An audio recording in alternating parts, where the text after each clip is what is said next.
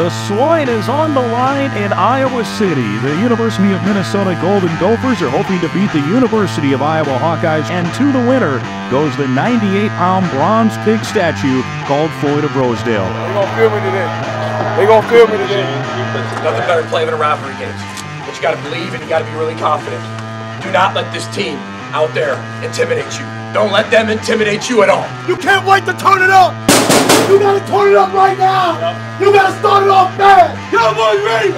It's big time Big Ten football. Minnesota and Iowa for the 117th time, and the Golden Gophers are hoping to bring home the bacon from Iowa City.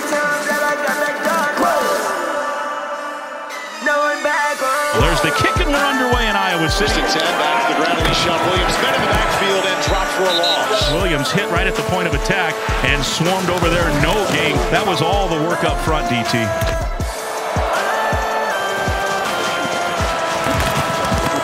Back spot down. The kick is up from Kesich. It's on the way, and it is good, and he made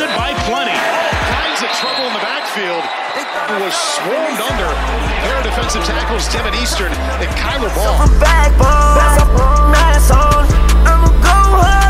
He is hit. Drop the ball. It's loose. It's Minnesota football. Tyler Nubin got it. Devin Williams poked it out of there on the blitz. One play at a time. Going on the uh, far side, caught this time Daniel Jackson and a first down to the 30. Gophers have moved it 45 yards on this drive. This will be the ninth play of the drive. Athan throws underneath, caught by Taylor, has the first down, puts on a move inside the 35. So this will be a 44-yard field goal. Snap back, spot down, the kick is up, it's on the way, and it is good. His second field goal is the blitz coming, and they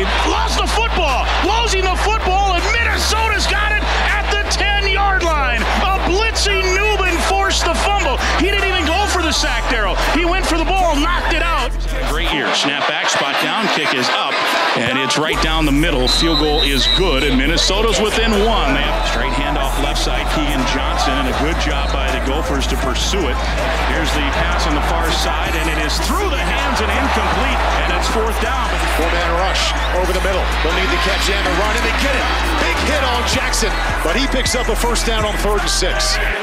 We have played three quarters of football. We'll have the fourth quarter coming up. Iowa 10, Minnesota 9, and a key possession here to start this fourth quarter. To throw Kaliakmanis. He throws it underneath. It's caught, and that is Taylor out of the backfield, tap dancing along the sideline, and a first down.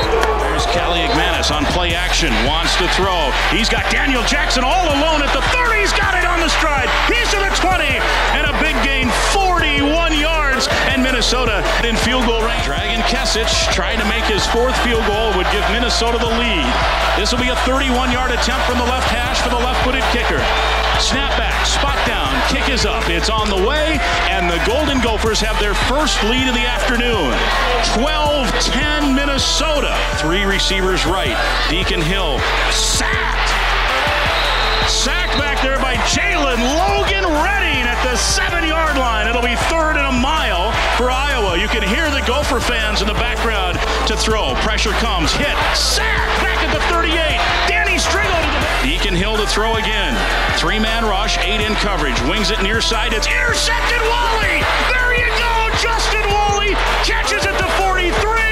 Minnesota will take over. 13 seconds and ticking down. And the Minnesota Golden Gophers, for the first time since 2014, are going to get Floyd of Rosedale. It's hog heaven in Iowa City. There they go.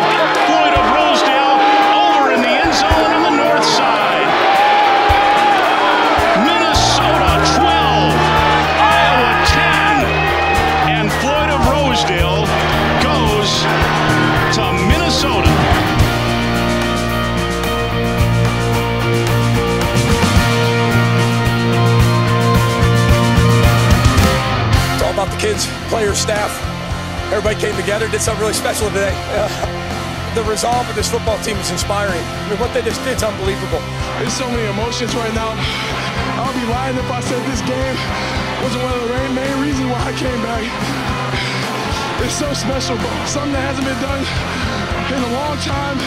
We haven't won here in a long time. And this is all this is all I wanted today. It's a feeling unlike any other. I mean, the a weight lifted off your chest, you know, a win for a team, you know, you see the joy on everybody's faces here, and there's there's not a feeling like that. This just means the world, not only to this team, this staff, but this state. I mean, this trophy hasn't been back to Minneapolis in a long time, and it's it's going back with us tonight. Well, I'm just happy for our university. I'm happy for our state. I'm happy for our fans. Um, most importantly, everybody in that locker room.